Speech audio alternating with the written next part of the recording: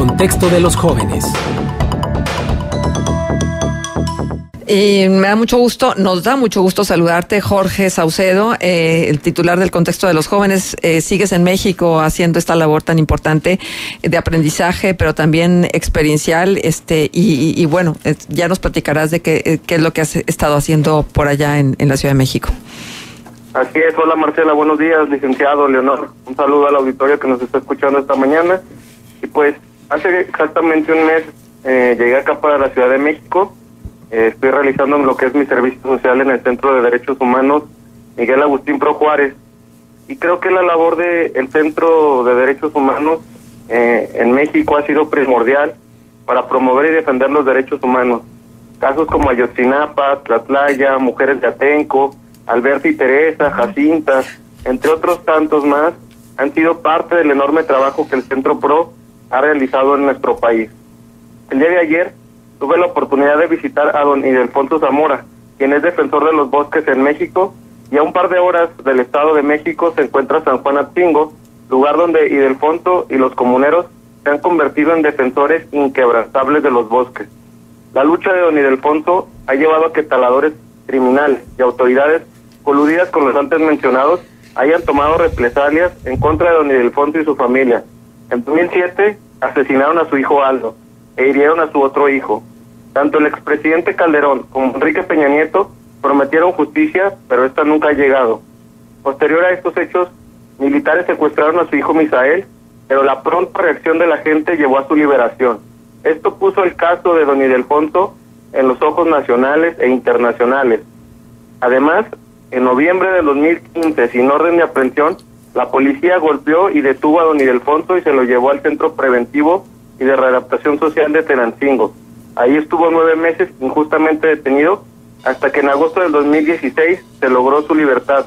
Amnistía Internacional, Greenpeace y el Centro PRO fueron quienes se encargaron de su defensa. Este es un caso, Marcela, Leonor, licenciado, de, del trabajo que realiza el Centro PRO diariamente en distintas partes del país, haciendo una defensa integral de distintos casos. Y la detención arbitraria de don Idelfonso Zamora es un reflejo de la criminalización que sufren los activistas y defensores de derechos humanos en México. Por eso la importancia del trabajo que realizan este tipo de centros. Por eso la importancia de darles una voz al Centro de Derechos Humanos Juan Gerardi, a Grupo Vida, a Fundec, a Fundec, a la hermana Consuelo Morales, directora de CADAC en Monterrey, entre otros tantos que todos los días arriesgan su vida. Y pues e, esto es lo que estoy haciendo acá. Ya tengo un mes trabajando aquí en el Centro PRO y la realidad es que el trabajo nunca termina y es muy importante el trabajo que realizan este tipo de organizaciones en nuestro país. Sí, fíjate Jorge que, que cuando platicamos el tema que, que, nos ibas a traer a la mesa, me puse a consultar cuántos activistas este, eh, que están, están defendiendo la biodiversidad y el medio ambiente han muerto en nuestro país y hay más de, de una veintena de defensores del medio ambiente asesinados.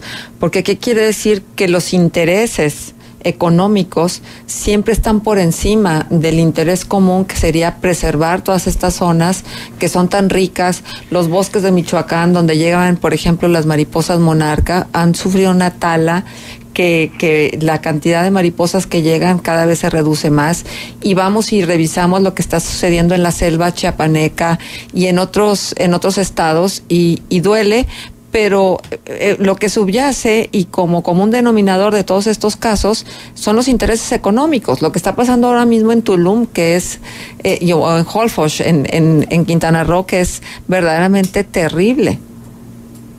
Sí, de hecho, eh, pues ayer tuve la oportunidad de estar allá entre los bosques y, bueno, no podría describir lo bello que son los paisajes, pero lo que sí puedo describir es el trabajo eh, que estas personas realizan como comunidad para que se siga preservando, para que pues ellos luchan en contra de los taladores eh, que ya tienen toda una mafia orquestada para pues vender estos grandes pinos que se, que se cotizan en el mercado a grandes costos.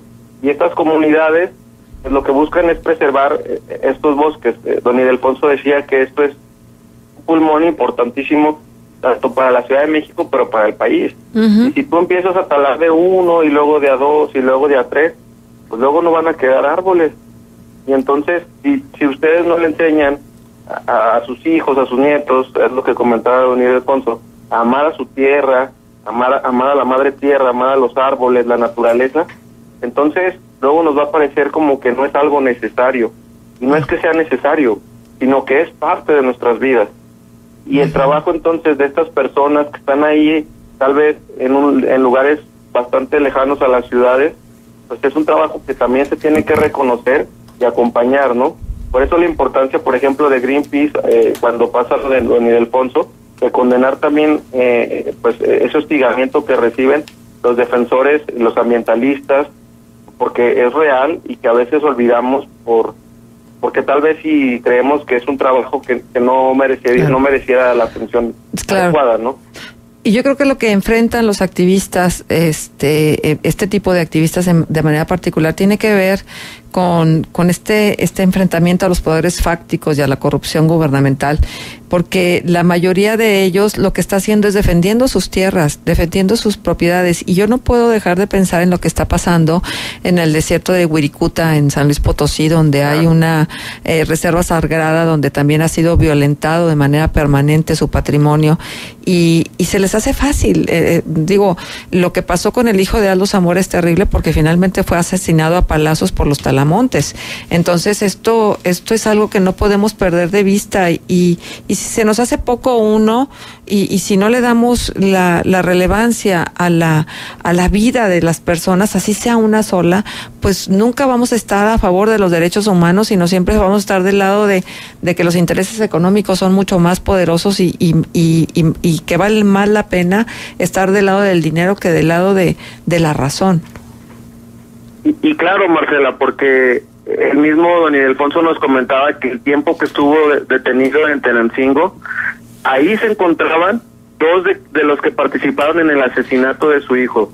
O sea, imagínate el tener, estar en esos nueve meses compartiendo eh, pues espacio con esas personas, el temor que él compartía de que en algún momento le fuera eh, a suceder algo eh, o le intentaran acuchillar, etcétera Gracias al trabajo de las organizaciones se logró que estas dos personas se reubicaran en otro cerezo, pero también es un es una presión, es un desgaste. Esto llevó a que Don Ildefonso ahorita, pues él, tiene diabetes, entonces obviamente el desgaste ha sido mayor para él. Y en, y en esta experiencia que, que ayer pude compartir, estuve con un periodista alemán que, se llama Wolf Dieter Vogel. Él es periodista de distintos eh, periódicos de Alemania y además es colaborador de Amnistía Internacional Suiza.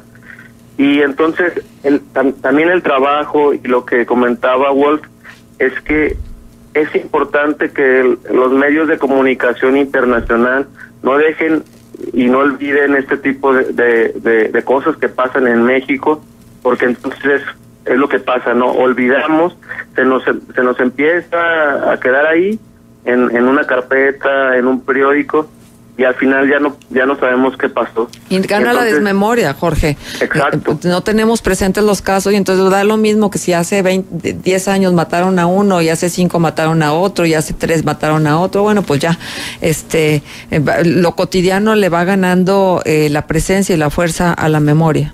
Sí, por eso se me hizo importante compartir el día de hoy con ustedes pues lo que está lo que estoy haciendo acá en la Ciudad de México, pero también recordar a todas estas personas, porque algunos podrían decir, bueno, pues eso ya le pasó hace dos años a Don Pont, ya que, o sea, ahorita hay que hablar de algo reciente, pero esto es algo reciente, porque ahorita a lo mejor no tiene el nombre de Don Idelfonso, pero tiene un, otro nombre que está ahí también luchando por preservar los bosques, los mares, los ríos, eh, o sea, en fin, hay, hay tantas causas y que a veces esas personas están ahí, pareciera que solos, pero que también tienen el apoyo de sus comunidades y de gente que cree en ellos y que por eso están haciendo su lucha, porque son firmes a sus ideales y que creo que es un trabajo que debemos aplaudir, tanto los defensores de derechos humanos en los estados, los activistas, pero también los el trabajo que realiza en este caso el Centro de Derechos Humanos Miguel Agustín Pro Juárez. Ajá, sí, y, también voltear a ver los casos de, lo que nos está pasando aquí en el entorno más inmediato, entre, los ecocidios que están sucediendo. Eh, Valeria Sousa acaba de estar con nosotros y nos decía eh, lo que está paseando en la laguna del Churince en Cuatro Ciénegas, que está seca, que, ya se perdieron algunas especies de, de peces, este, y, y, que la verdad de las cosas es, es algo que tenemos que tomar en cuenta y, y buscar la manera de conservarlo, o sea, de sumarnos al activismo, que no sean unos cuantos, que no estén solos, que haya, que haya agrupación en torno a, al cuidado de esto que nos pertenece a todos y le pertenece no nada más a los mexicanos, sino al mundo entero. Sí, por, yo, yo, creo que, y esa es la tarea que en, en este momento, en lo, en lo personal estoy preparando, bueno, aquí estás aprendiendo lo que está sucediendo a nivel nacional, los casos, pero cómo llevar esto a nuestro estado, a nuestro municipio, y entonces es la importancia de empezar a hacer redes, acompañar, dar seguimiento a quienes ya están haciendo algo, y por eso creo que eh, el apoyar a los ambientalistas que están ahí, eh, eh, pues buscando que se preserven los mantos acuíferos, por ejemplo, de Cuatro Ciénegas, y los activistas que están acompañando a las familias de los de los de quienes tienen eh, algún familiar desaparecido, eh, el trabajo que hace el Centro de Derechos Humanos Juan Gerardi, la Casa del Migrante en Saltillo y la de Torreón, y los periodistas que están en Monclova, en Piedras Negras, que están sufriendo distintos tipos de agresiones, creo que ahí es donde el activismo y la defensa de derechos humanos eh, tiene un gran trabajo en nuestro estado y en nuestras ciudades. Bien. Jorge, pues pendientes de ti y de, de lo que nos compartas en este contexto de los jóvenes. Muchísimas gracias por estar. No, pues muchísimas gracias y estaremos en contacto en los próximos días y espero verlos pronto. Igualmente, Jorge.